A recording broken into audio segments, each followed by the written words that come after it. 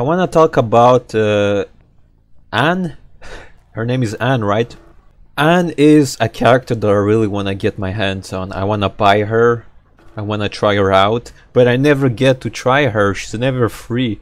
When I'm in the game, when I feel like playing Hunter, she's never free. The worst is, I don't really like this character. I don't like her game style. I don't like her play style. I don't know what there is about this character, but there's something that draws me towards this character. There's something there. So for so first of all, let's talk about her design, right? Holy shit, she's incredible. So first, I initially thought that she was an ugly woman. She she's just so skinny. She's so like flexible, and there's something about her face, and there there's also her feet. It's like, ugh.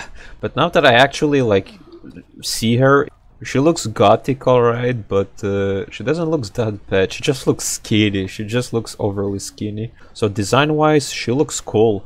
Like it makes you think about those satanic uh, cult-like movies. However, her playstyle is something that just feels very weird to me. So she has a cat. Notice that she carries a living cat.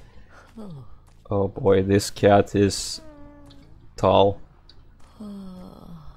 And the sounds that she's making, there's something like off-putting about it. There's something that's kind of disturbing about it. It's like, ugh, and I like it. I think it fits the character very well. Now her cats. Okay, so she's basically dropping a shadow of a cat. Her cats functions like projectiles. And it's very weird. Because you have Hell Ember. You have Hell Ember that uses his puppets to patrol the map. And one thing that I will always say is that his puppets, Hell Ember's puppets, feel more alive and organic rather than her cats. Her cat, her animal runs in a straight line. You can then split them into two. You can get them back at you and they're running in a straight line.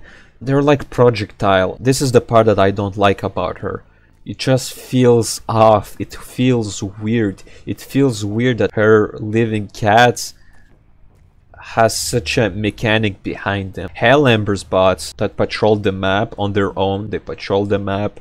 Then they reveal you where the enemy is. They're scouting ahead.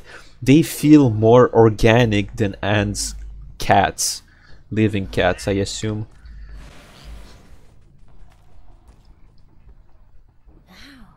It's just something that is very weird to me.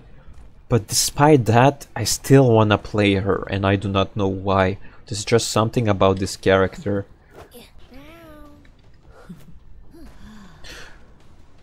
Her jumps, are her jumps short? Like, what the hell was, what the hell was this leap? Was I supposed to, like, hold it?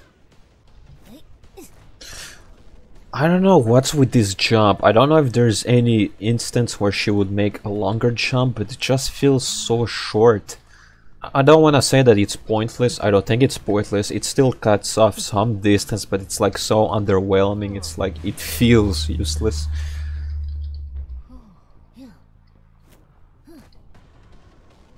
It would be cooler if she had more than one leap. It could look cooler. You make one leap, then you can make another leap. That's basically my criticism. I think she looks great. She gives those gothic vibes. Her weapon is great. Is this sharp? It gives you those medieval horror vibes. Her shape, her silhouette, it's like, ugh, it's so like weird and in a good way. But her playstyle, like with her cats, her cats just don't feel alive. They don't feel organic. It's just weird. On that note, have a good day.